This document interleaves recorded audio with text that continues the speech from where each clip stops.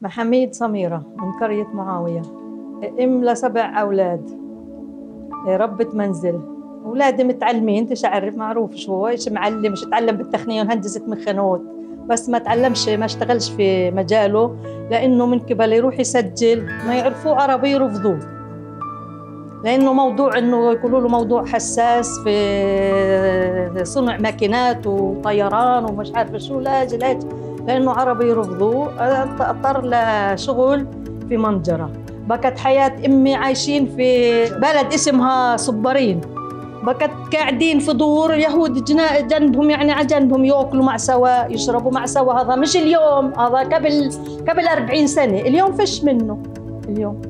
اليوم فش منه اليوم لو بدك تحكي معي يعني تفتح موضوع زي ما انت بتقولي تحكي مع موضوع يهودي أو موضوع رجل ما بتقبلش انه إنه بضل يكون أنت عربي.